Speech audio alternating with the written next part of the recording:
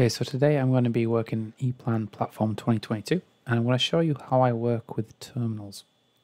So I'm going to use the new insert center here and you can see I've got some favorites already defined here and to do this it's pretty straightforward. You just go to the symbols and you can hit this little star here and it'll be added to your favorites uh, navigator here. You can also use the search up here so if I want to look for a terminal I can hit enter and you can see that I've got 108 different symbols to pick from and a couple of devices and uh, macros, etc. You can see there's just a whole bunch.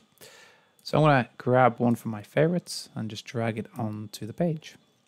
So this is my first terminal. I'll place it down. It's going to be called X1 Terminal 1. I'm going to duplicate this four more times.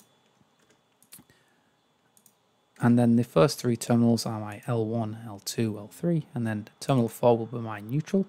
So I'll change this type of terminal from just a general to a neutral terminal, and then the ground to a PE. I'm then going to duplicate this terminal strip, move it up like so, and then renumber it. I can add uh, some wire numbers by highlighting everything, and then go into connections, and then place definition points. You can see them placed here as question marks. To add numbers, I just go to enter designation and hit OK. So these wire markers are definition points I can add information like wire gauge and color to. So if I select them all, go to properties, and then I can change the cross section. So these can be 2.5 millimeters, and then I can make all the wires uh, black. And I can maybe change the neutral from black to blue. And then I can do the ground from black to green and yellow. So I'm going to just add a little layer of um, complexity to this. So from 1 to 2, I'm going to add a saddle jumper just to show you how uh, flexible this terminal configuration can be and what ePlan is capable of.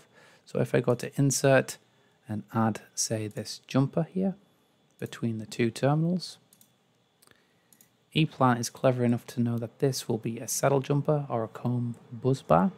So I can look at this by looking at the terminal strip and go into devices and terminal strip edit.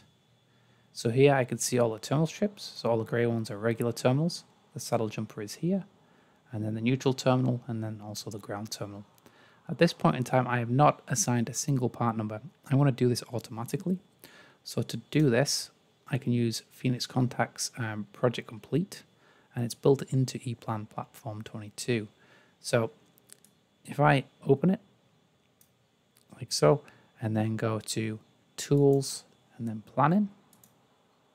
Then I want to use the Automatic Data Exchange, and then I want to use the PT terminal blocks like so. I just hit Export, and then select the entire project like so.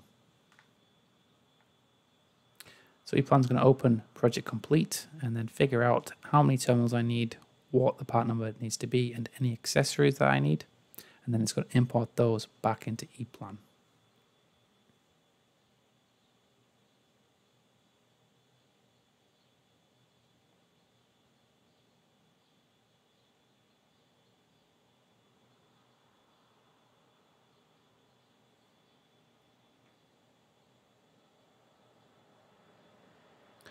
So when I hit finish, and now my terminal strip has all part numbers and I can see this by using the same menu before, so devices and edit terminal strip. So I can see now I've got my end plates, my end stops, and all my part numbers as well.